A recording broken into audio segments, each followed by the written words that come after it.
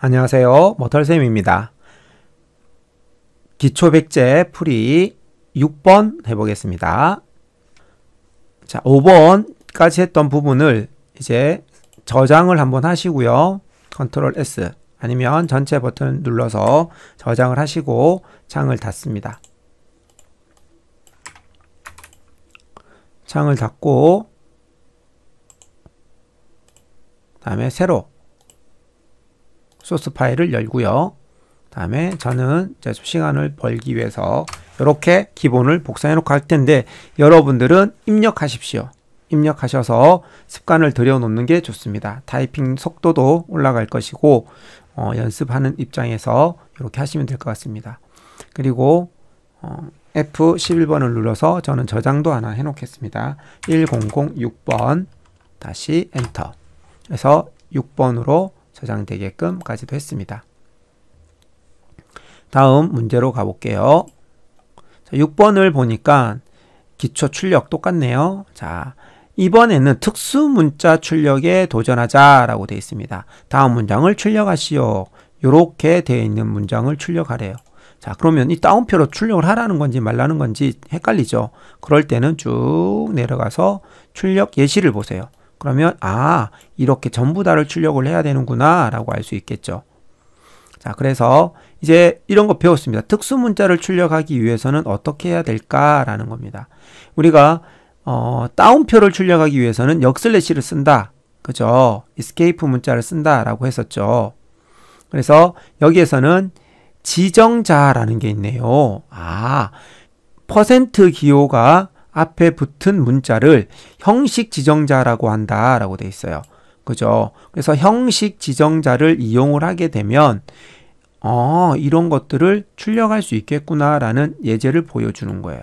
자, 형식 지정자. 다운표는 역슬래시, 다음에 줄바꿈도 역슬래시였어요. 자, 그런데 여기에는 퍼센트가 나왔어요. 이번에. 그거 한번 보도록 할게요. 그러면 퍼센트를 이용하면 이런 것들을 출력할 수 있겠구나. 여기 보면 퍼센트 퍼센트 했더니 퍼센트가 출력이 된다라는 거죠. 한번 해볼게요. 여기서 그냥 여기서 커서가 여기 있다고 해서 여기에다가 어 이렇게 입력하지 마세요. 아시겠죠? 이렇게 입력하지 마시고 이때 스페이스바로 하나 둘셋 넷을 입력을 하시든지 아니면 이렇게 되어 있을 때 탭 키 TAB 키가 있거든요. 왼쪽 제일 위에서 세 번째 키 TAB 키를 눌러주시면 줄맞춤이 돼요. 이렇게 이런 식으로 줄맞춤을 해주세요. 줄맞춤을 해주시면 훨씬 더 편합니다. 그리고 내가 필요 없는 이런 것들을 지울 때는 예, 이렇게 지울 수도 있고요. Delete 키였습니다. 아니면 백스페이스 키로 올라가도 되고요. 아니면 Shift 키를 이용해서 블럭 설정하고 필요한 만큼 지우고 이런 식으로 하셔도 되고요. 아니면 이런 경우 있어요. 지금 이렇게 보면은 커서라고 하는데 깜빡깜빡하는 걸 커서라고 하는데 이 커서는 글자가 입력될 위치를 나타내 줍니다. 이 자리에 내가 A라고 치면 이 자리에 A가 들어가는 거죠. 그런데 이 깜빡이는 게 이렇게 뚱뚱해지는 경우가 있어요. 이렇게 깜빡이는 게 뚱뚱해졌죠. 그죠? 이때는 Insert 키라는 게 있어요. 어디에 있냐면 백스페이스 키, 지우는 키 옆에 보면 INS라는 키가 있습니다. 어디에 있는지 보여드릴게요. 자, 구글에서 한번 검색을 해봤습니다. 구글에서 키보드라고 했더니 이렇게 검색이 됐습니다. 자, 여기 보시면 이런 식으로 어, 아까 말씀드렸던 탭 키, 탭 키는 여기 있습니다. 자, 여기에 있는 게 탭 키고요. 다음에 보이나요? 여기에 있는 거, 여기에 있는 게 Insert 키고요. 여기에 있는 게 탭 키입니다. 다음 아까 퍼센트 키 여기 있죠. 이제 쓰려고 하는 퍼센트 키. 다음에 역슬래시 키. 역슬래시 키는 오, 여기 키보드 자판에는 없네요. 네. 그리고 슬래시 키는 이겁니다. 슬래시 키는 자, 이렇게 알고 계시면 될 것 같습니다. 일단 탭 키와 Insert 키 Insert 키를 누르게 되면 그때마다 여기 수정이냐 삽입이냐로 바뀌게 되는데요. 자, 이거를 여기서 입력을 한번 해볼게요. 커졌죠. 커진 상태에서는 내가 여기에다가 글자를 치면 덮어 써버려요. 이해가 되나요? 그런데 이것을 다시 작게 만들어야 되겠죠. 이걸 다시 인서트 키를 한 번 더 누르면 작아져요. 작아졌죠. 이때 누르면 끼워 넣기가 돼요. 삽입됩니다. 요거 삽입 상태하고 수정 상태라고 하거든요. 요것도 잘 챙겨 놓으시면 좋겠습니다. 왜 자꾸 지워져요? 라고 하는 분들이 많은데 이렇게 인서트 키를 이용을 해서 두껍게 되면 지워지고 수정 상태 다음에 얇을 때는 삽입 상태다 라는 거 알고 계시면 되겠습니다. 자 이제는 아까 퍼센트 퍼센트 두 개였죠. 이렇게 해서 출력을 한번 해볼게요. F11번 키를 눌러도 되고 클릭해도 됩니다. 자, 이 상태에서 눌렀더니 이제는 뭐가 나와요? 여기 퍼센트 키가 퍼센트가 나오는 걸 볼 수 있나요? 예, 퍼센트가 나왔습니다.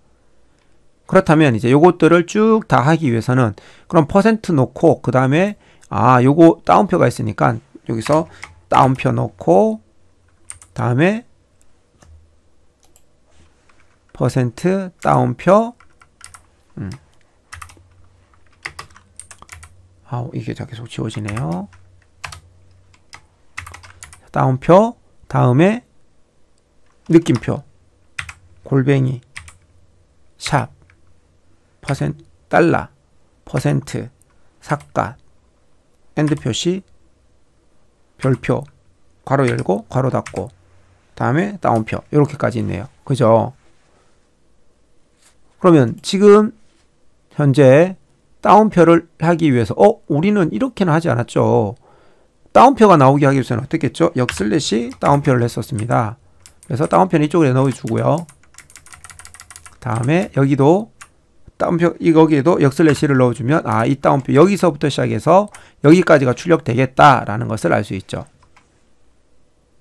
그리고 이제 안에 들어가는 게 우리가 뭐부터였죠? 느낌표부터네요. 요 퍼센트 지우고요. 아니 아까 퍼센트가 하나가 있으면 얘 있으니까 얘가 있으니까 얘들이 딱 나오겠네 라는 생각이 들죠. 자, 실행해 볼게요. 실행하면은 컴파일 하고 실행해라 라고 했더니 짜잔 어때요? 나왔나요? 원하는 대로? 네, 여기서 퍼센트 있는 거 여기랑 똑같은지 보세요. 우리 출력하고자 하는 게 이거였습니다. 여기. 그래서 다운표, 느낌표, 골뱅이, 샵, 다음에 달러, 다음에 꺽쇠부터 가로, 다음에 다운표까지. 오, 잘 나왔네. 라는 걸 알 수 있겠죠. 그래서 퍼센트를 이용을 해서 뒤에다가 넣으면 그 문자가 출력되는구나. 특수 문자를 출력하는 것은 아 퍼센트의 앞에 한자만 붙여도 되는구나.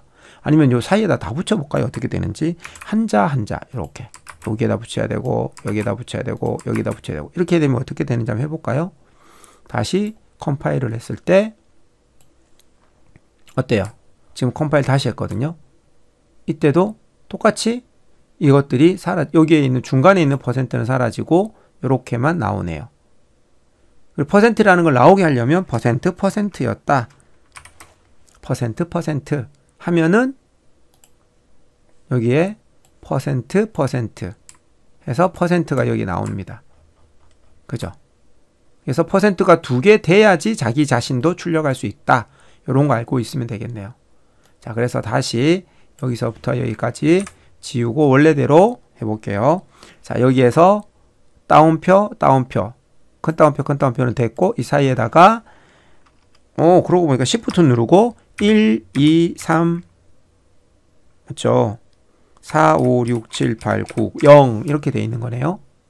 그리고 컴파일 할게요. 다시 컴파일 했더니 제대로 나왔어요. 그죠? 이 상태에서 자 제출 한번 해볼게요. Control A, Control C 다음에 제출 붙여넣기 제출 와 6번도 정확한 풀이입니다. 라고 나왔네요. 자 6번까지 풀었습니다. 고생하셨고요. 다음 7번 보도록 하겠습니다